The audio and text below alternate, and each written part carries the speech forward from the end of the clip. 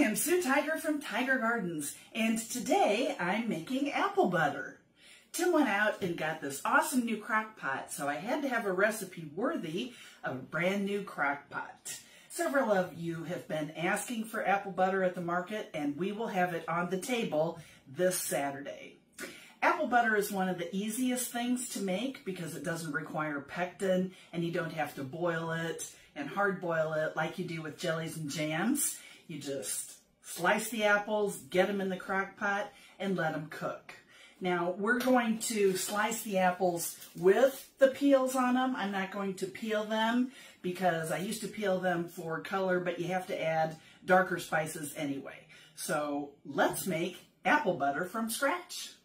So we need our apples, of course, fall spices, brown sugar, a wide mouth funnel, that's essential. Your favorite ladle, that's essential. Jars, sugar, a stock pot is a water bath canner, and a crock pot to cook the apples.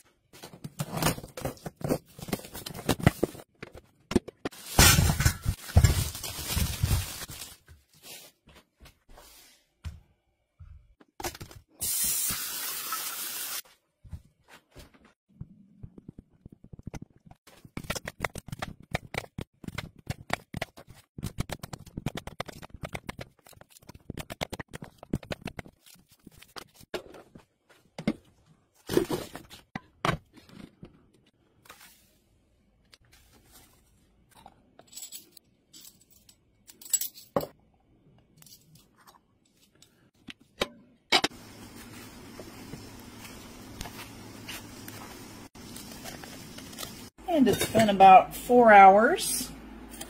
Time to stir the apples. This is at eight hours. Apples are getting softer, but they need to cook quite a bit longer. And now it's been overnight. Apple butter's been cooking on warm in the crock pot, so it's time to stir and then use the immersion blender.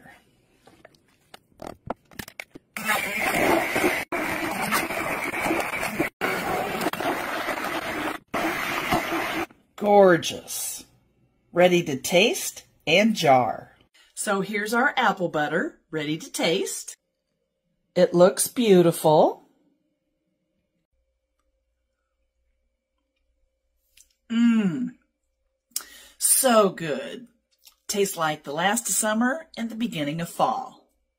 Now we need to water bath can our beautiful creation. You can see the peels in there, but I'm telling you, it saved a lot of time.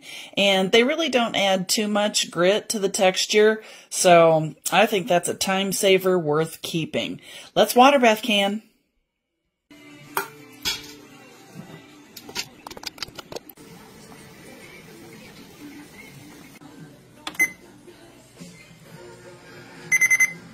And here is our beautiful creation. It looks fantastic and it tastes great. And it's going to be on the table at the market along with everything else that we're bringing.